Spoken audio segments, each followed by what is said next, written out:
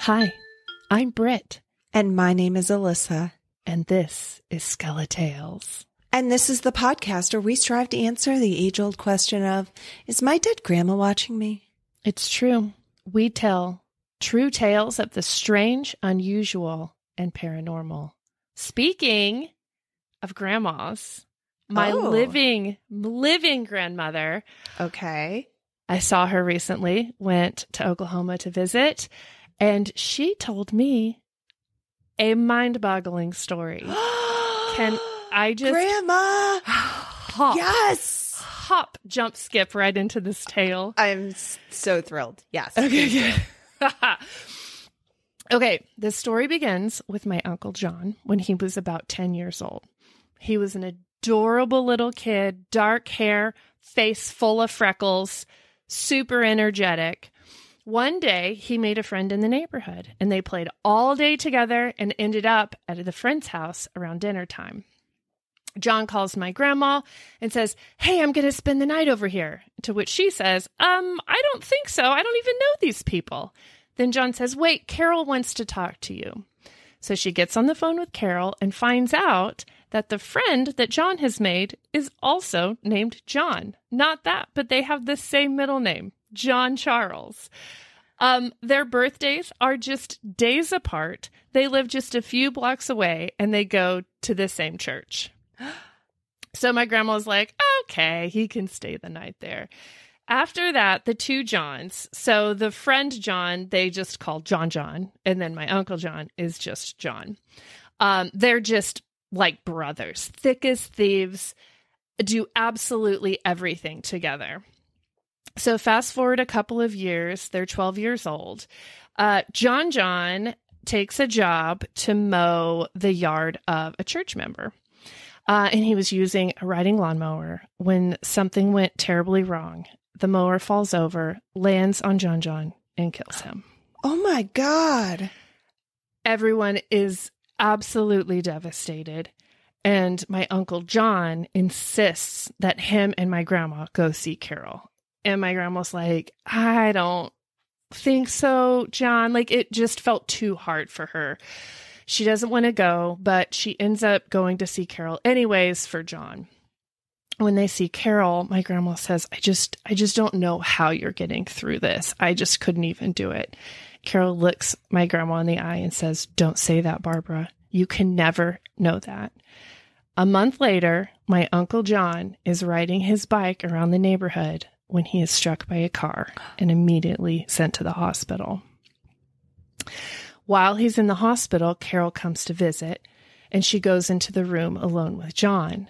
When she comes out, she's sobbing. Her face is streaked with tears, and she says, I know that my John John was in there. And I told him, John John, you don't have to be with him all the time. A few days later, my Uncle John passed away. They ended up burying John in the cemetery right next to his best friend, John Charles. So, John Charles and John Charles right next to each other in a cemetery. Never knew this until I went to go visit my grandmother. Holy shit. Wait, this is your mom's brother? Yes, my Oh Uncle my John. gosh. Did he you was 12 wait, years old. Did you know about him? Did you know that he passed away? Yes. Okay, okay, okay. This is don't I just didn't tell you ahead of time for the shock value. But there's more. So, fast forward to about five years ago, my grandpa, who was 92 at the time, was nearing his end of life. Um, now, my grandpa Wayne is my grand- grandma's second husband, but they married when I was a little kid, so he's just always been grandpa to me. And at this time, they had him in a hospital bed in the living room in the house, and grandma was caring for him day and night. And she said that he would regularly talk to people in the room around this time. And she'd say, Who are you talking to? But never really got a clear answer and couldn't really understand like much of the conversations that he was having with these people. So one day while my aunt is visiting, he looks at her and he goes, Who is that boy? And she looks around, there's no boy in the house. she goes, "What boy? he goes, The one at the end of my bed. He's got dark hair and a face full of freckles. And my aunt looks at my grandma and they were like, Oh my God, it's John. And then shortly after that, my grandpa passed away. Holy So- shit. Wayne, my grandpa Wayne had never met John before. This Right, was like right. from a whole other time. And who is that boy? He was there. Oh my God. That is wild. So much. Your family has some like drama, trauma. Holy shit. I, I, just thought, what are the chances that two boys, both named John Charles, thick as thieves, like it's such a strange coincidence. that is. And everything about it. die at tragically 12 at years 12. old.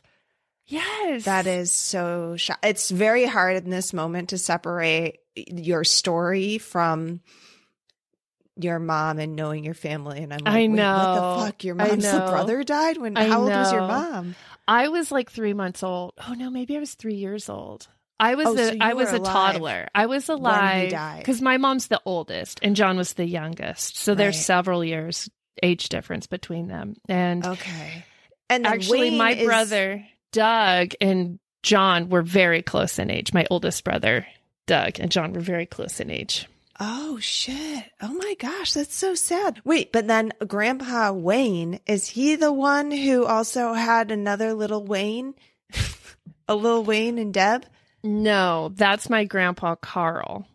Oh, that story is wild. That is wild. Oh, The only thing that would have made it better, notes to grandma, was I'll make sure to let her John- know. If John John showed up in the room along with John and there were two little boys covered with freckles. guaranteed guaranteed they're goofing around somewhere Yes. in the whether it's heaven or some different realm those two are for sure together Did John John's mom see John John in John's? she didn't Room? she didn't she didn't tell my grandmother she just said i know he was there whether she saw him or felt him i don't know Just but too much. I mean, that Yeah. also sounds like some. And you're like reliving your a worst. a month experience. earlier a month earlier her son had just died so like oh so much so much Wow, But that gives me goosebumps.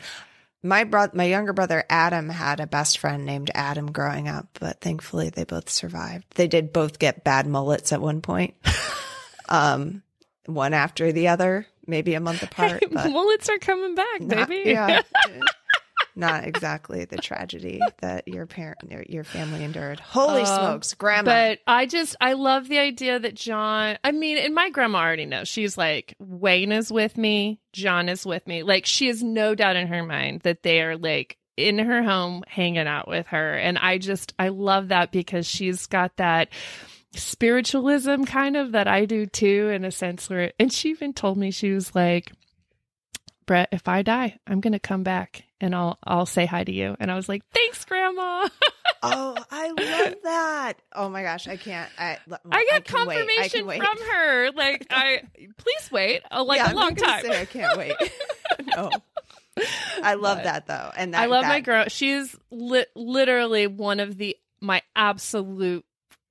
Maybe she might be my absolute favorite. Okay, I have children, so okay, one of my absolute favorite humans on this planet. She's amazing. But That's- yep, that good. That story. Holy my story. shit, that was Do a great you- story. I did not Can- see that coming. Can you follow up that family tale? Fuck, dude. Uh, now I'm yeah, like you can. I have Yeah, a couple good ones. Okay, I'll send. I'll tell you the sadder one, I guess, before the less sad one.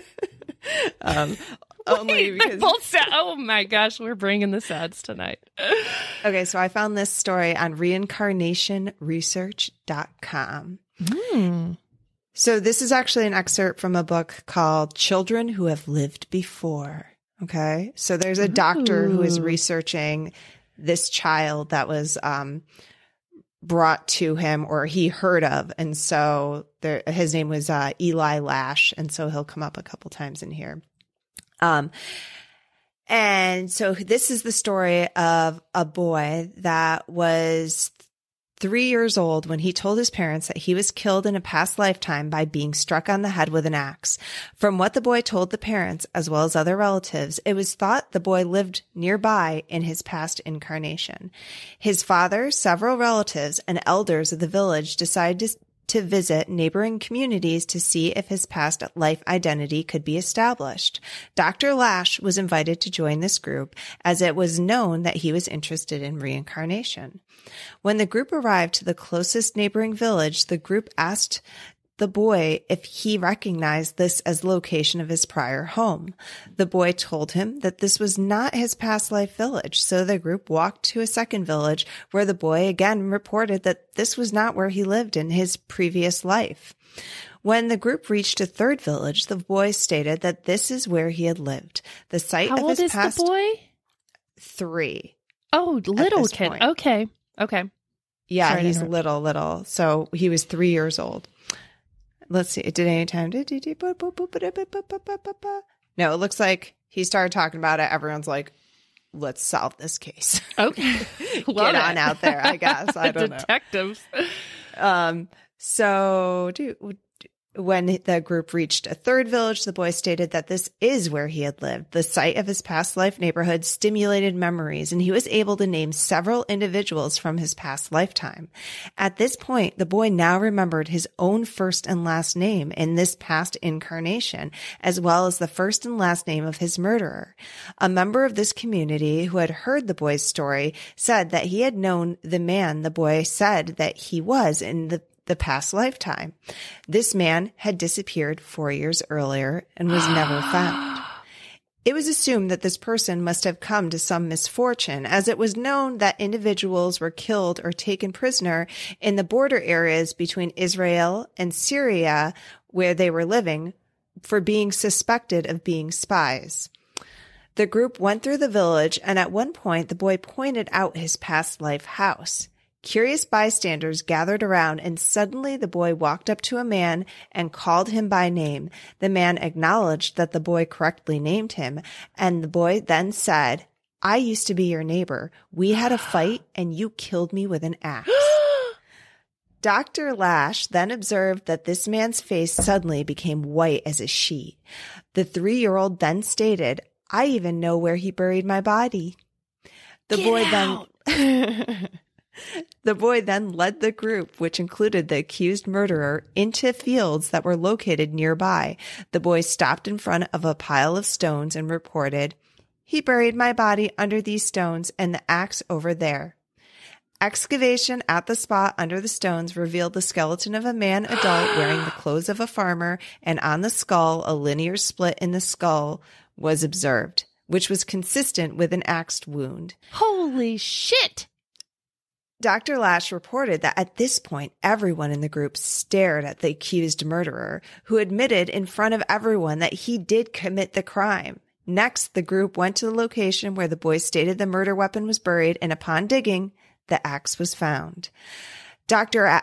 Lasch asked the group what would become of the murderer. He was told they would not turn him over to the police, rather, they would impose a suitable punishment. What ultimately happened to the murderer was not reported. they killed him. They killed him. oh my God. Um, what? then the doctor reported that the subject of this case, this little boy, was born with a linear birthmark on his head, which appeared to be consistent with a lin- linear defect in the skull found on his past life skeleton, which was cr- appeared to be created by an axe blow. Whoa. I've heard this before with reincarnation stories about uh, strange birthmarks being in places.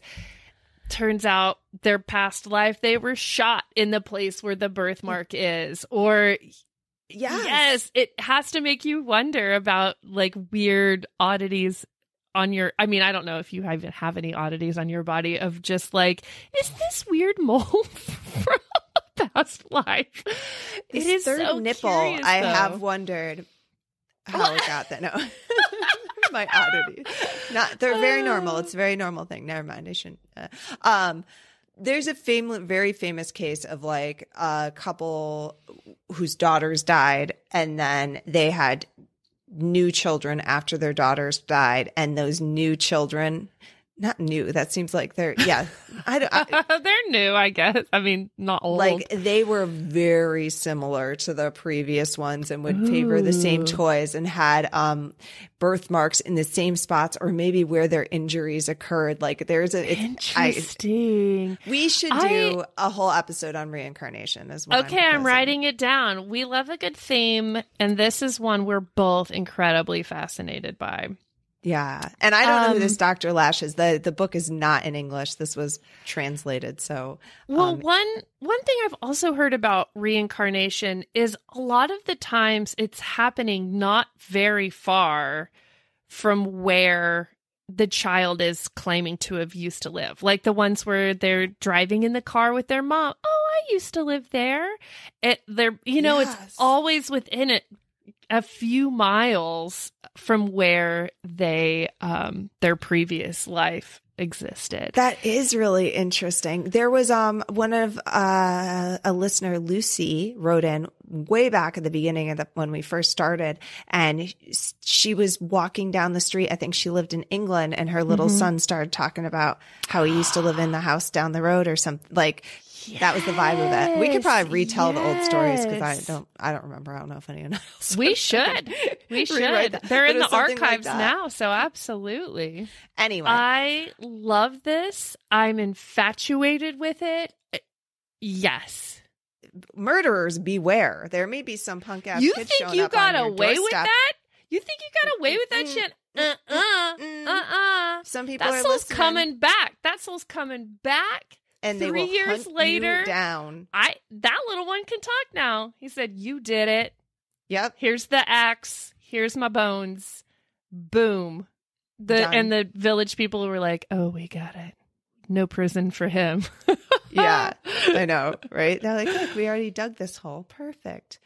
Um, so coming soon to a Skeletales podcast streaming service near you we will be doing, I think, some more reincarnation stories. Mm, I love it.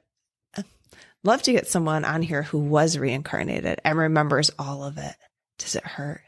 I don't know much about reincarnation. I know there's like reincarnation can be complete as something I saw coming across that. I don't really even know what that means. It's not something I'm super familiar with. I just like these creepy kid stories. Have you like, heard ah. from friends where they were like, I think my kid might be my grandmother or my great grandmother or my uncle? Like, sister in law Brie thinks their daughter is her grandmother. She's like, uh, she has so many traits of my grandma Barb that she's like, I think it's her.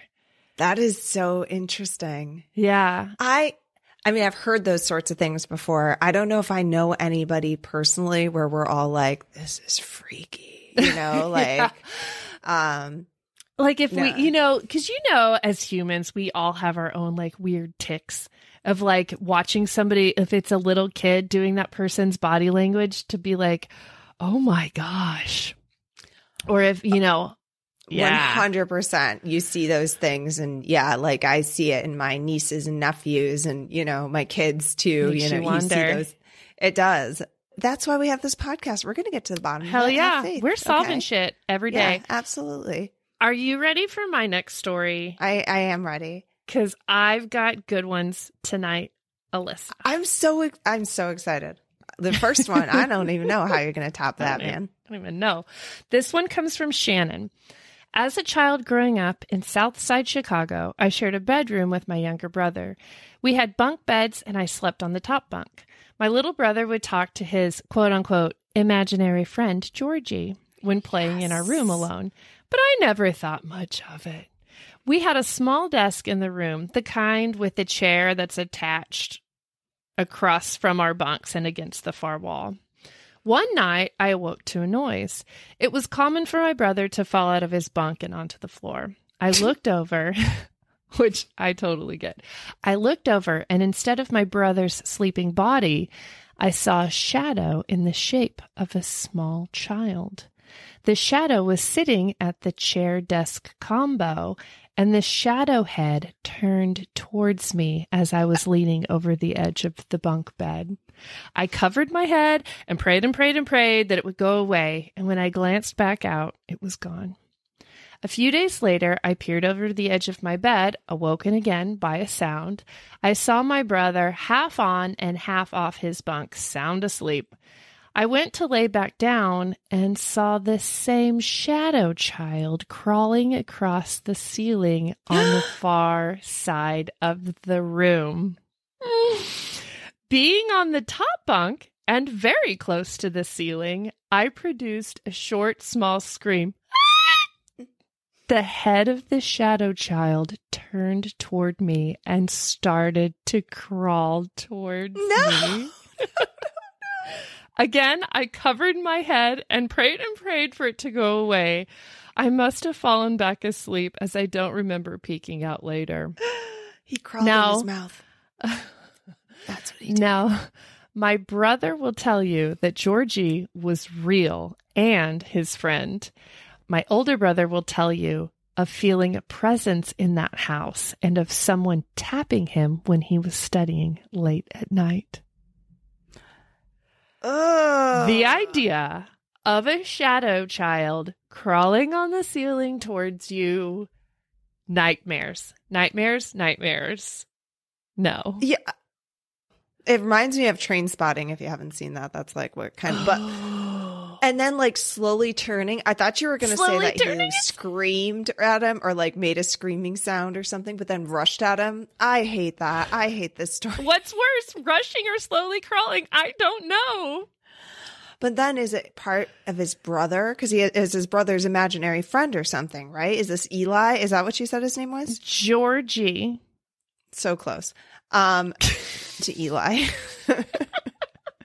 um yeah that's oh God! I so is that who know. he was seeing georgie's just crawling around the room like a creep or because he believed in him and made him real like oh god I think Georgie's a ghost and a small child ghost living in the house and was the brother's friend and taps the older brother on his shoulder late at night when he's studying.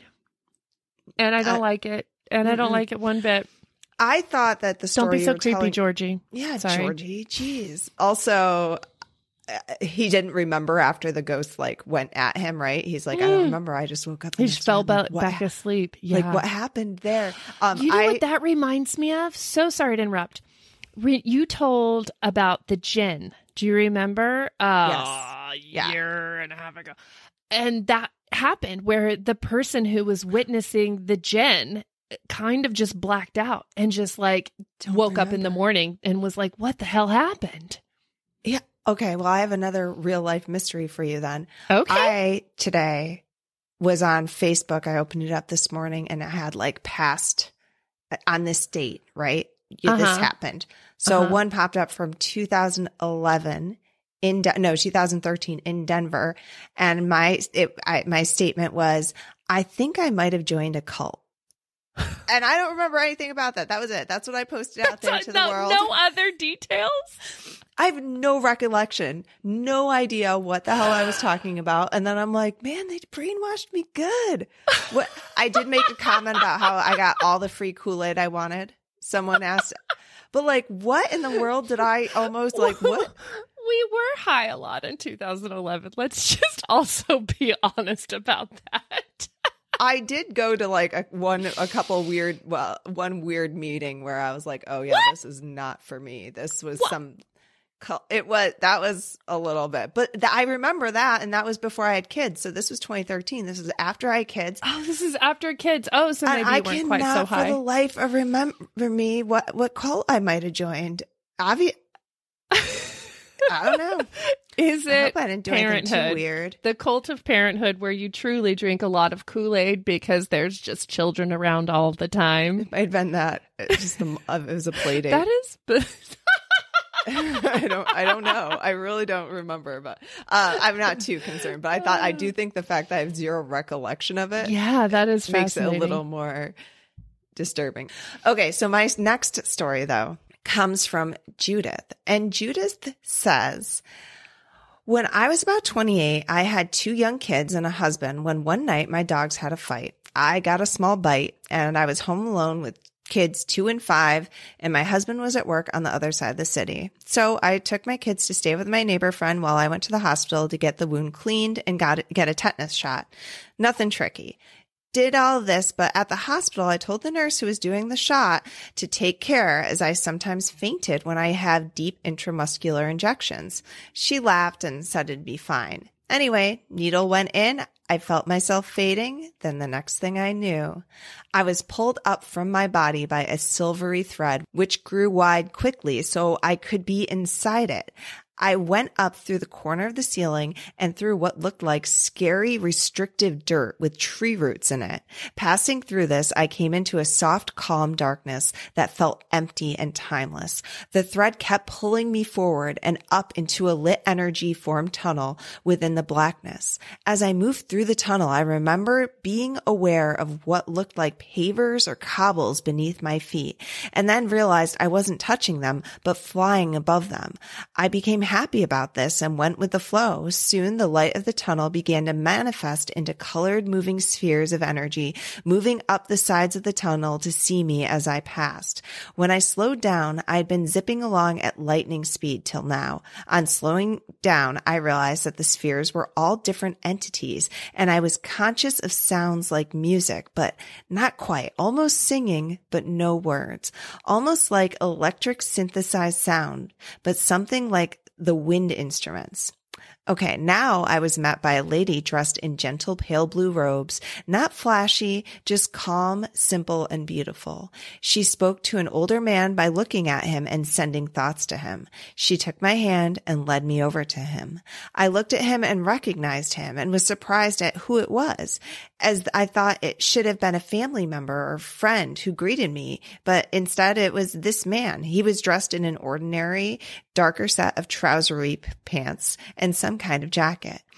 He took my hand from the lady and we immediately set off towards a big stone entrance with a low stone wall running off eternally in either direction on each side of it. The wall was only about 35 centimeters tall, but was a clear barrier.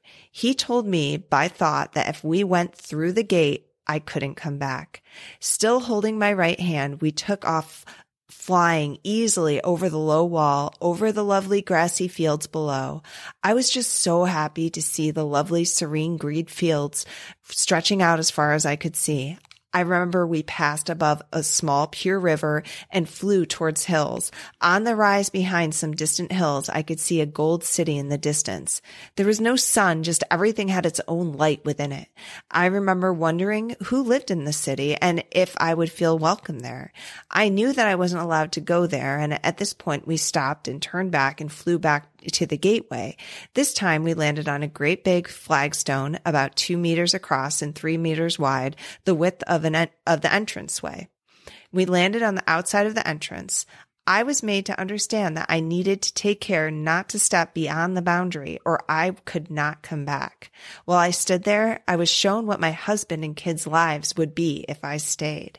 I felt an overwhelming surge of love and compassion for them and decided that I had to return to make their lives better. As soon as I made the choice, the silver thread snapped me back through the tunnel the same way I had arrived. When I hit my body, it was like hitting a brick wall while running. I knew I was back in, but then it got scary as I realized I couldn't hear, see, or feel anything. I then realized I wasn't breathing. I tried so hard thinking I have to get this thing, my body in parentheses, working again. It took so much effort. Then slowly the breaths came back. Nothing else would work. Then the sound came back, then the light and vision. When I opened my eyes, the resuscitation team were all around me. The doctor looked surprised and freaked out, saying, You gave us a bit of a scare. I realized I was I realized I had sticky pads on my chest and machines were beeping. I had basically died and had a jumpstart second chance.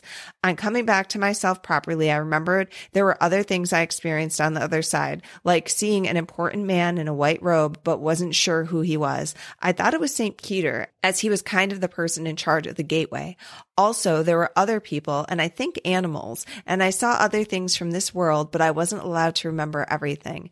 Anyway, I came back with a commitment to love and serve. So that's my little story. What Yeah. the fuck? How'd she die? The te- via tetanus? What? She didn't. She didn't explain why she died from a tetanus shot. I'm glad you asked.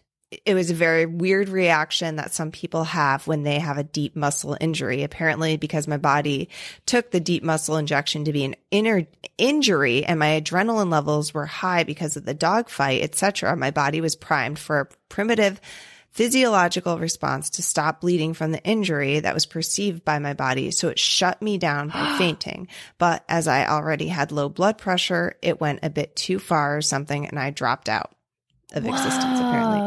No proper explanation was given to me at the time, but I've done some research to try to figure out what happened, and it seems this is a thing, albeit pretty uncommon. But to be honest, I still don't exactly know why or what happened. I've had a major migraine event in more recent years, which knocked me down, and I do wonder if there may be some connection. Oh, interesting. But no, Could uh, be. So I think when she says knocked down, I mean like knocked out of life. Yeah, yeah. Knocked I guess. dead. Um, I mean, it What- sounds like they had pads on her. They were resuscitating her. They obviously were concerned she was like not alive and What's- bringing her back. Really fascinating about her story because we've talked about many a near death experience, mostly from a you, but uh, we hear all sorts of things about, you know, some positive, some negative, all over the map. Hers is pretty textbook, like Christian St. Peter in white robes. There's an archway. Here's a golden city. Green fields abound, filled with love. It's really interesting and kind of um, plays on that whole idea of the afterlife is just what you believe it is in your mind. Yeah, but even with that, there are some recurring themes that we see. I think throughout them is that one that that sound, the noise that sounds like voices, but no one can really pin down, and then Having the a guide, uh-huh, sure. a guide, and then Mhm. they're communicating through t- telepathy, Yeah, right? Be given a choice to return or not. True. This is the first that I was I've I've seen. I think that someone actually saw how their loved ones' lives would play out without them in it. Yes. Which I thought was really interesting. So she saw what their life would be without her and decided to go back, which is yeah. It- it- kind of goes against the whole Christian thing of like everything happens for a reason of like your your life is predestined you can't make any changes because it's already destined to be what it's supposed to be like no we That's can make some fucking choices but maybe that was the choice she was going to make all along. But, uh, I wonder if it's circumstantial too. Like in that particular instance, it was like her health can be mended or not mended. Like this Yes. is choice. In other cases, it's like you're squished in a rolling machine accident. Like Yeah. there's no coming back from like the guillotine or something. They're like, right, "Yeah, your head, your head's sometime." gone. Yeah, no, no choice. No choice. Yeah, No choice. I don't know. I think it also reminded me of Mitch getting bit by Hobo Cat and what it could have what could have happened so close, so, close close, to to, being Mitch's experience as well. And it also again makes me want to drink some ayahuasca and do some DMT. Every single one of these, I think every time you hear Alissa tell a past life st- or a, a re, uh, what the fuck is this? A near death experience story. It's because she's like, All right. Next that. time we're in Washington, we're going up to the forest. We're going to pop a tent. We're going to take some ayahuasca and then vomit a lot because I hear that happens. uh, yeah, And I then think it's maybe really see Jesus. I don't know. Who knows? Anything can I have happen. no idea. There is a place, I think it's on the south side of Ra- Rainier. It's actually in between us. And like you go there, and because I do think someone needs to like take care of you a little bit. I would not mind someone taking care of me. Yeah, I don't know about perfect stranger, but yes, that's the idea. And then they they guide you kind of through the experience, and it's legal there because it's like medicinal. What is the other thing I'm thinking? It's MDMA. No, DMT. That's it. DMT is street you are so asking the wrong person. I don't know at all. Like I know I do know obviously, but DMT, I'm not sure how you get that or take that. And I wouldn't take anything these days because of like the fentanyl stuff. That's like scares me. Yeah. I don't want to Yeah. get that. I don't, I'm not gonna. Yeah. No, I need someone to be like, this is the absolute lowest, safest dose. You're going to be fine. Yeah, give me And the. you ca- can have brunch tomorrow. Go and bite the cactus in the desert. Suck the juices with my Uh-huh. bare teeth. Okay. That's a good way to make sure you're not just going to take fentanyl. I think you might die, depending on the cactus. what kind of party is this? I, you know, Okay. it's mine. Okay, Britt. Welcome to my world. You come visit me. I call the shots. We'll do All it. right. All right. Deal. Fine. Okay, tell me another story, please. I have a story for you. This story is from Alice. She says, When I was eight years old and my cousin was nine, we went for a vacation in my mom's province. I want to say there was talk of this possibly being Ireland, but don't quote me on that. Okay, back to the story. It was like an island with a limited amount of people living in that area. So basically, you see a lot of trees. Oh, so maybe not Ireland. Back to the story. it was I, I can't tell if you're telling the story or commenting, doing some commentary. I can't tell what is Britt and what is the story. I oh, it's because I don't have my Irish accent from Oh. this possibility that it's a forested area of Ireland. I don't. Do they have provinces in Ireland? I feel like that's a French or Oh. Canadian thing. Okay, might be Canada. Hey, it's Canada. They have a lot of trees. They do have a lot of of trees. trees eh, in Canada. Yeah. It was dusk when me and my cousin decided to roam around by ourselves. We were walking in the woods not far away from our house when we saw an old man holding a kid. The old man looked like a farmer or worker from the island. The kid was younger than me, maybe about two or three years old. The old man holding the kid walked towards me and my cousin. Then he asked us if we could hold his grandson for a while because he was going to go buy a drink for the both of them. As innocent kids, we said, yes. My cousin decided to hold the kid's hand since he was older. We tried asking the kid questions, but he wouldn't talk and just would nod at any questions we asked. So we thought that it, he was just shy. It was starting to get dark, but the old man never came back. And not long after that, our grandma came to us and asked us what we were doing in the woods at 6 p.m. My cousin explained to our grandma that he was holding this kid's hand because an old man asked us to look after him. This is where it gets creepy. Our grandmother laughed and said, What kid? She told us that it was just our imagination, but we could still see the kid holding my cousin's hand. Yet only the two of us could see him. The old man never came back. And up until now, my cousin claims that the kid is still with him, holding his hand from time to time. My cousin is now 18 years old. Oh Boom! God. Oh, and the podcast. That was beautiful. Just shut Right? down. Holy Oh shit! So perfect. I love it. I don't care if it's Canada or Ireland, France, wherever it happened. that is creepy, crazy, but like, the ultimate child abandonment story? yeah, because then what are you going to do? Let go of the kid's hand and leave him in the woods? Like, you got, so that Right? you had to take him home? Yeah. So good. It's so good. And then you just have to think about this teenager like with this kid still around. Like it's incredible. It's incredible. I wonder if the old man was real. Okay. Okay. with me. Okay. And back when the old man was a boy, he was in that very forest, and there was this old man with a kid who's like, right. "Oh, they could see me, and they could see it." You know, they're like, "Here, hold his hand." So Uh-huh. he had the kid. He had to take care of the hit- kid his whole life until he could find another Uh-huh. someone to pass the kid to. just the gotta kid- go get us a drink. Uh huh. Quote Uh-huh. unquote drink. Yes, yeah, yes, we're just thirsty, be- so thirsty. Yeah, that wasn't honest. That wasn't an honest. uh He needed to get rid of that kid. Oh my gosh. And nothing bad though? Nothing like it didn't sound bad necessarily. the kid was just no. quiet. Yeah, the kid, I mean, and I wonder. I'm so curious now. Like, is the kid still quiet? Does the kid still just like nod Yeah. to answers? Does he do anything weird? You just have to ignore him for that whole your whole life I and pretend know. he's not there. I Like, wonder if what the if you're like on a date? Like, is the kid there? and he's like reaching up, like all sad, Hold- wanting to like, hold your hand, Hold my hand, please. reaching out, and then Oh you have to like pretend not to. I can deal with that kind of creepy. I think. I think.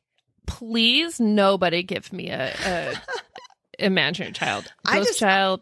I don't want it. Nope.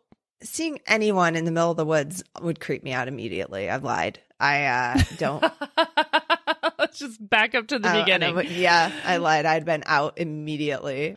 I at a grocery store recently had a guy um be like, "Excuse me, miss, miss, am I bleeding?" And I was like, "What?" And I looked at the guy. He's like, "Am I bleeding?" And he holds his head up, like, "No, you're not bleeding, but like your nose looks red." I'm pretty sure he just got punched right in the face and wasn't sure if he was bleeding. Pickup line. Not the same thing. I would have rather someone give me a ghost kid than wonder what the hell it was going to happen next. I was like, "What?" No, you Oh, don't want go don't- scared. I yeah. Hmm. Been a better story though. Okay, Anyway. listeners, I have a challenge for all of you, but it's a fun one.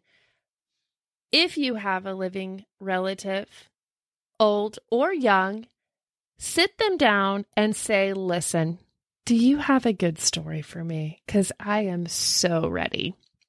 It can be paranormal or it can be just be strange, coincidental. We want you to gather that story and then share it with us in our hot box. Which is skeletalespodcast at gmail.com. You can also call the hotline and leave the story in our hotline. Hotbox. Tell it with words. Out loud. 302 302 689 dead 302 689 3323. We're on all the social medias Facebook, Instagram, TikTok. Please go check out our YouTube. We're airing, posting unseen um, content over there. While you're over there, subscribe please because it really helps and i've got a free t-shirt just like ready to go into the hands of somebody once we reach 100 subscribers Yes. so do that Also, please someone go leave us a review somewhere. A review. Um, and if you do leave us a review, let us know where it is because there's several places now I guess you can leave them. angie's Uh, list yeah. Well, okay. yeah. Sure. We've got we've got 10 stars over on spotify that's right 10 stars. I thought it only went to five. We broke well the you scales. know what we break there. records over here at skeletales we also have a merch shop Oh, skeletalespodcast.etsy where we've got haunted shit spooky shit funny shit that's not really shit it's really cool Rad stuff. rad stuff One more thing, Britt. yes what is it Haunt you later. Haunt y'all later good, Good night. night.